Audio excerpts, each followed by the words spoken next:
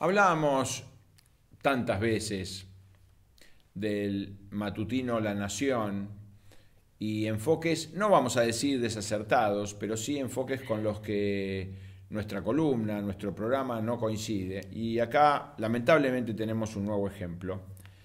Acá tenés una nota de Martín Di Natale. Dicen, denuncian graves desmanejos en embajadas del país. Eh, Di Natale, un reconocido periodista, toma un Toma. No, qué feo. ¿Perdón? ¿Toma? No, Ah. toma información, Ah, déjame ah, concluir. Ha- ¿Hago tanta pausa como Maradona en de zurda?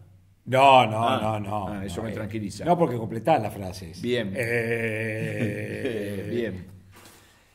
Toma un informe de la Auditoría General de la Nación y entonces habla de desvíos de fondos millonarios, gastos sin rendición de cuentas, alquileres sin comprobante, contrataciones de personal sin justificación. Bueno, pero son, son minucias esas caras. Para mí no. Para mí no. Pero ¿en qué consiste el, er- el error, en mi criterio? Una embajada tiene que representar fielmente a un país. si la embajada argentina fuera absolutamente prolija, no hubiera corrupción, solo tomara... No es Argentina. Claro. No sería la embajada argentina. Digamos, eh, es un oxímoron una embajada argentina que funcione correctamente y sin corrupción.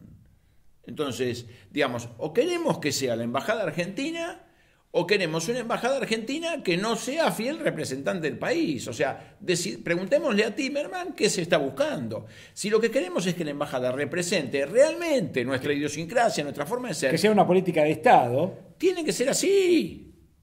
Tiene que haber corrupción, tiene que haber desvío de fondos, tiene que haber más personal del necesario. Si no, no es una embajada argentina. Perdón si. No, no, pero fue, espero que haya sido claro para, también para los televidentes, ¿no?